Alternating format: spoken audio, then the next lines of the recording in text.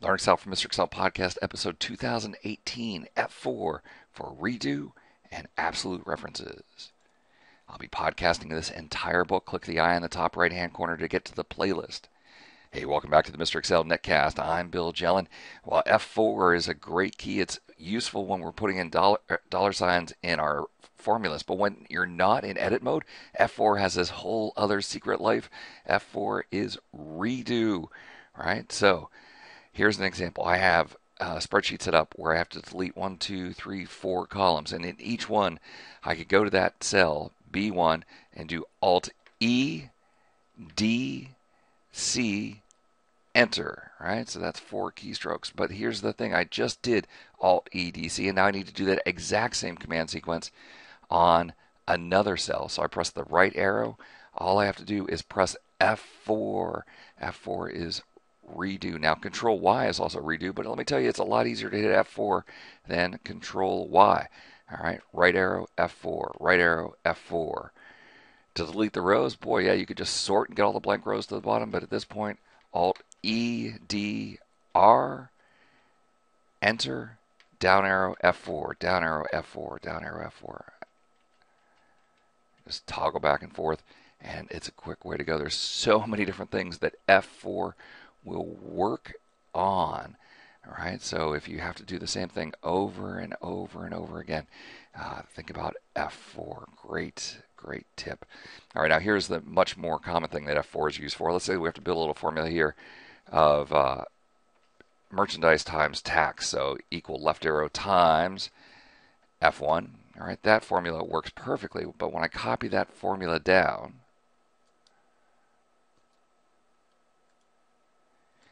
And when we go look at the formula, you'll see that the B2 changed to B5. That's exactly what we wanted to have happen. But that F4, it needed to always point to F1. Right? We don't want that to change.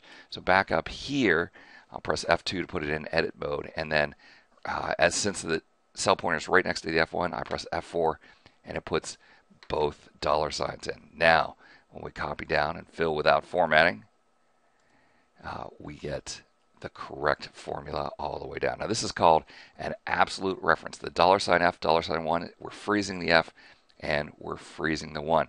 Let me show you when you have dollar signs to use with a rectangular range. So equal VLOOKUP.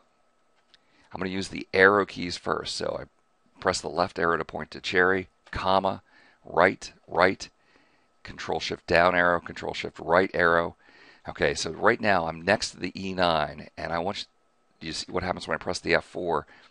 I get dollar signs throughout. It added four dollar signs. Dollar sign D, dollar sign 2, dollar sign E, dollar sign 9. That's awesome. The most common way that people would build this formula would be using the mouse. So they click on cherry, comma, click on that range, the flashing insertion points right next to the F9. I press F4 and I get all the dollar signs. That's beautiful. Here's the one where it doesn't work. Equal VLOOKUP. There's some people who can type a lot better than I can type. Uh, they must have had typing class in high school, and they will type D2 colon E9. Flashing insertion point is right next to the 9. Oh, no. When I press the F4, it only puts the dollar signs in there. All right, so I guess if you're a good typer, you're typing the dollar signs as you go. I don't know why it doesn't work in this one case. Or let's say we forget the dollar signs entirely. All right, so you build the formula. You press, forget to press F4 right here.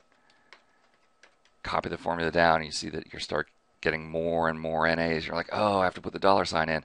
So press F2. Okay, now to put the, all the dollar signs in here, you can either select the entire five characters and press F4 like that, or or you can simply select the colon. When you select the colon and press F4, it'll put the dollar signs in on both sides. Control Enter, and the VLOOKUP is fixed. All right. All right. What if we need one of those expanding ranges, N dollar sign two down to N2? Uh, these these are tough to build. I I can't seem to find a way to build it with the F4, and it's really weird. The only thing I can do is N2 colon N2 and then press F4. But this is the wrong way to build this reference.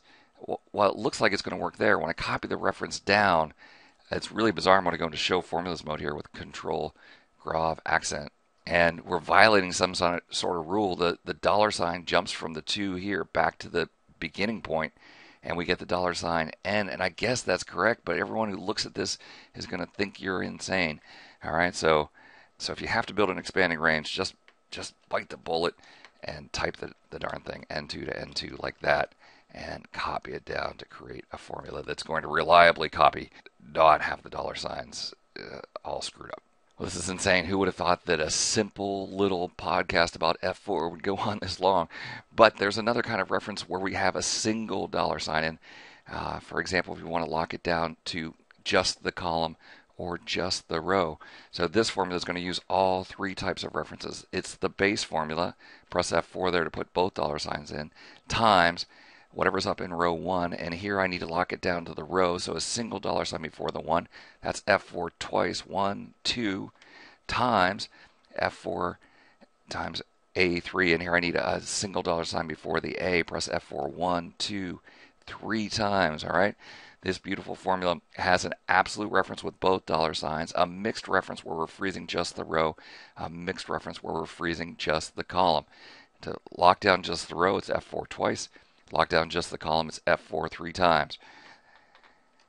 Create this formula, copy it throughout, and it will point to the right cells all the way through. Back to row 1, back to column A, and that one is frozen altogether. All right, this tip number 23 is just one of the 40 tips in this book. Click that eye in the top right hand corner. You can buy the entire book. Episode recap The mighty F4 key is popular when building formula references, but it's also great for repeating the last action, whatever you have to repeat over and over and over again. Uh, you can do the command once, select the next cell, and press F4 to repeat. Uh, F4 is also great for absolute references. Uh, a formula reference changes as you copy the formula, but sometimes you need one part of the formula to stay fixed. And so you press F4 after pointing at it. Uh, when you're building a rectangular range, if you use the mouse or the arrow keys, F4 is going to work perfectly. But if you're typing the formula, watch out, F4 will only freeze the second part of the reference, the bottom right corner. Uh, if you forget to type F4, go back into edit mode with F2, uh, select the whole range or just the colon. Uh, when you have an expanding range, it's tough to use F4. While you're editing, if you need to toggle from edit mode to enter mode, press F2. There are really four kinds of references. An absolute reference with two dollar signs locks both the row and the column. This one, dollar sign A3, locks just the column. C dollar sign 2 locks just the row. And then A1 is the relative reference where nothing is locked. To get this one, press F4 once. This one, F4 twice. This one, F4 three times. This one, well, don't press F4 at all, or press F4 four times and it'll toggle back. All right, so when we go point to a cell, Press F4 once, lock them both. F4 second time, lock the row. Third time, column. Fourth time, nothing. All right, and you can keep going back through and toggling through the whole thing. All right, there you have it. I want to thank you for stopping by. We'll see you next time for another netcast from Mr. Excel. Hey, it's an outtake. None of this is in the book. Here's an amazing way. It's double space data. So I put in the number one, hold down the control key, and drag down. That puts in the numbers 1 through 10. Then I hold down the control key and make a copy of that whole thing. Now I have the numbers 1 through 10 twice. Put a heading up here of sort data A to Z. Bam, I've now double spaced that data. And put those stupid columns back in. Alt I C to insert a column. And then F4, F4, F4 to make them narrow, Alt OCW1 to make it narrow, and then F4, F4, F4.